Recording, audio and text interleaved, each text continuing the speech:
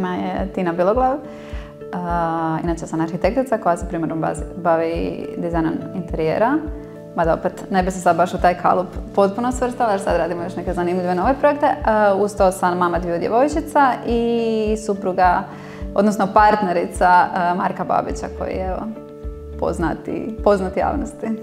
Pa nas je u principu ta dijagnoza zatekla, nespremna. Nekako kad napipaš e, kožicu na grudima, znaš u kojem smjeru to može otići. Ovo je bila kožica na prsnoj kosti, mi smo zapravo jako dugo mislili da je riječ o nekoj upali nečemu, tako da nas je zapravo u nedjelju navečer to zateklo potpuno nespremna. E, ja sam tad bila pet mjeseci trudna.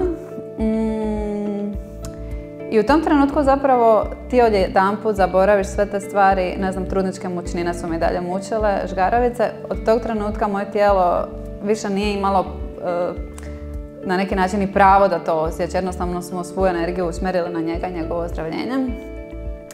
E, jako je teško to percipirati, ali sama trudnoća, ja se nje zapravo ne sjećam. E, ja se sjećam ta prva četiri mjeseca i onda jedan put držim svoju lucu u rukama i taj dio je taj dio mi je malo žao kao da, kao da mi je ta bolest ukrala trudnoću, ali nema veze ako će to na kraju sve biti dobro, a ja vjerujem da hoće, onda sve to skupa vrijedilo toga. Samu inspiraciju, na primjer snagu, sam tad pronašla baš u toj činjenici što sam trudna, što je moja luca bila meni, pokušala sam biti snažnija i mirnija zbog nje, nekako vjerujem da bebe to ipak osjete. A inspiraciju nalazim zapravo direktno u njemu. Kad god je meni bilo teško, ja bi se obraćala njemu. Meni je bilo teško e, ne znam, zvati njegove roditelje pa se njima žaliti ili nekom kome manje, svi, svi govore sve će biti u redu, ali on, me, on bi me baš znao dovesti do ruba, ok, ako se dogodi najgore, ti ćeš biti ok. I zapravo sam s njim prošla jako teške razgovore, ali koji, bi mi, koji su mi znali jako puno pomoći, tako da me on inspirirao, pomogao. Pa mi smo zapravo ovih godinu i po dana kao dva savršeno usklađena stroja. Mi se navečer dogovaramo, jedno dijete ide u jedan vrtić, sad je Luca krenula u drugi vrtić, tko ima sastanak ovaj, onaj, tako da se baš e, jako, jako dobro surađujemo na tom polju i dajemo jedno drugom prostora e, za napredak kad je bilo promocija knjige i sve oko knjige, onda sam se ja tu povukla i više brinula za djecu, sad se on povukao i zapravo meni daje prostora da ja uhodam svoj ured i da napravim sve ono što želim s tim. Tako da eto, dogovori. Nama su njihovi roditelji, meni je teško reći da su oni bili nama podrška, oni su zapravo bili s nama u tome. Koliko smo mi bili u tome, toliko su i oni bili. I sad kad je to, um, ne bih rekla iza nas, ali kad više to nije toliko aktivno, trenutno ne ide na terapije i nije potrebno da je u bolnici, Ovaj, sad smo im odlučili malo ipak dati prostora i pustiti ih da oni prodišu, oni oboje su zaposleni ali oni su nam ogromna podrška i zaista da nismo imali njih, ovo sve bilo bi još puno, puno teže. Ja sam u principu, jako me inspiriraju sve e, snažne i hrabre žene, žene koje izlaze iz svoje zone komfora da bi rasle, da bi napredovale.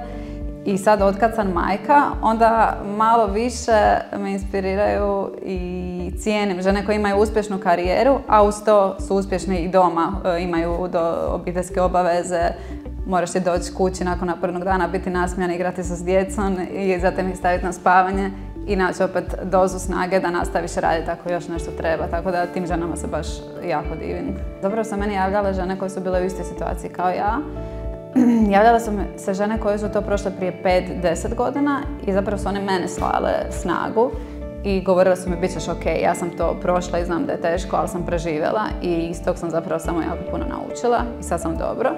A isto tako mi se javljaju žene koje su sad na tom početku i onda ja njima nastavim dati e, snagu i reći im bit ćeš ok, ja sam to mogla, moći ćeš to i ti.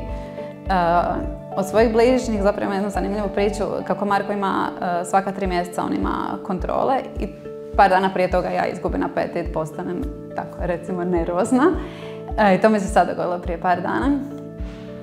Nazvala sam svoju najbolju prijateljicu. Baš e, kad odeš u te misli, jako se teško izvući van iz e, te negative, ajmo tako reći. Ja, ja inače nisam osoba koju tješi sve će biti ok, ja volim na papiru vidjeti da to ide. Tako da sam nazvala svoju najbolju prijateljicu i rekla sam joj, baš nisam vidjela izlaz, rekla sam meni strah da ću ostati sama s njih dvije. I ona mi je rekla da, ali ja ne znam nikog ko bi to bolje odradio i da se to i dogodi. Naprimjer, mislim da sam ja u tom slučaju nju inspirirala, ona je meni dala snagu koja mi je tad trebala. To mi je baš lijepo.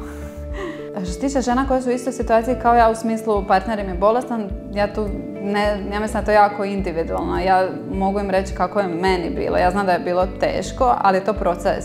Ja sam prvo osam dana bila strašno loša, onda sam imala jedan dobar dan, onda sam bila pet dana loša, imala sam tri dobra dana i zapravo se ti učeš nositi s tim. Marko će sad imati kontrole svaka tri mjeseca, ja se učim svaka tri mjeseca da ne, ne odem skroz na tu stranu. A što se tiče usklađivanja posla i obitelji, to je zaista samo bitno jako dobro koristiti svoje vrijeme, uh, opustiti se, znati se i opustiti, ali zapravo uh, truditi se, baš iskoristiti svaki moment dana.